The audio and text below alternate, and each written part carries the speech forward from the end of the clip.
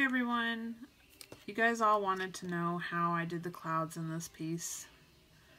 Um, so I thought I would do a mini tutorial. It's not going to be the greatest, uh, but I thought I would share with you on how I did it.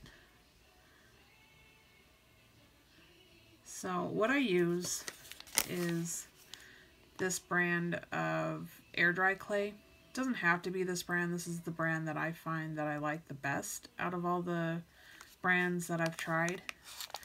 Uh, it's three ounces. I bought it at Michael's craft store for, I think, a little less than $10, and then I used a coupon. Here's the back of the package. I burned right here on accident. Um, I took out some of it and then put it into a littler Ziploc bag that I keep double bagged so it doesn't dry out and then I resealed it. That's why it's burned right there. So that keeps this soft and it doesn't dry out. So all I do is I take a little ball of the clay off of here and then seal it back up and I kind of mush it around. Here's the here's a dried piece. I don't know if you can see it. Here's a dried piece that has that I made a few days ago and it just sat there and dried so this one is solid. Um, so you, you can use a needle tool. I use this. Or you can use a toothpick or a needle tool or you know whatever you want to make or to use. I've also used a piece that I've made. Let's see if I can find it I used, I made this, um, it's dirty and gross, but I made this a long time ago to scrape off pieces easier or to texture clay a little bit easier. But anyway, you can use whatever you want, just something sharp. So all you do is I kind of anchor it down with, you know, a tool, or you can use your finger if you wanted. So you just take it and kind of push it and then you just kind of scrape it. And it you know since you smashed it down into a ball. See now you have like this fluffy cloud. And you just keep going. And just keep doing that in random pieces. I kind of you know if it's too fluffy or too round. See how this is smooth? You kind of want it like more fluffy. So I just start picking at it and then I fold it in on itself so it's kind of rough. See how that came off and it's too it's too smooth. So I just take it and put it back on.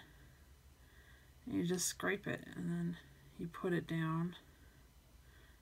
And I let these dry. You can either let them dry or you can put them in wet however you want doesn't matter. Um, you can do little teen tiny pieces to make it so it's, you know, random sizes. And then whenever you're done, put the clay that you don't use back because it does dry out pretty quick. So I put that back in there.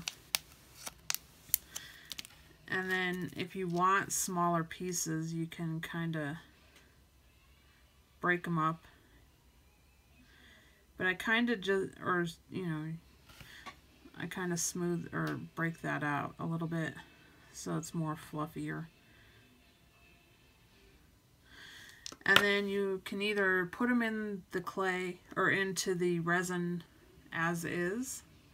Uh, just be careful whenever you touch them because they are soft and they'll squish down. Um, so you want to keep that fluffy texture. Or you can let them dry like this and then there's less chance that you'll mess it up when you're putting it in when you're pushing it down into your resin. So I hope that helps. It's super easy. I did this in layers. I used UV resin. Um, I'm not going to share the brand of resin due to it being a polyester resin and it does smell bad uh, just like polyester resin regular polyester resin does so I'm not going to share unless it's asked. Uh, but you need to make sure that you know the proper way to use polyester resin because it does have bad fumes. You need well ventilated area. Uh, but I buy it by the gallon. I like how it comes out and I use a lot of it so that's why I still use it. Uh, but you can use any UV resin that you want. Uh, Lisa Pavelka has one that you can buy at Hobby Lobby. Whoops, sorry, I'm out of frame. Uh, at Hobby Lobby for, I believe, $10.99. And it's one ounce.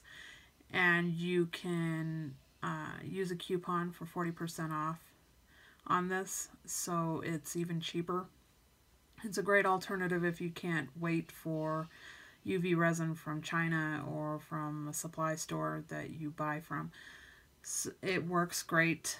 Um, I've done pieces like this before. I cure it either under a UV lamp or outside or I actually have a UV torch that I use. Um, here actually, here's the brand that I gave it away. This is the brand that I use for the resin. Beware, it does stink, but it does work. So just be cautious whenever you're buying. It's a dual cure resin, so you can use catalyst if you're using a mold that has shadows. Uh, but again, I can't stress it enough, it does smell horrible. But it's a good resin. So you can use that. With this torch and the resin that I use, I decanted it into a smaller bottle, but um, you can cure that Solarez resin probably within, oh gosh, I flash cure it and it cures within, I'd say 30 seconds.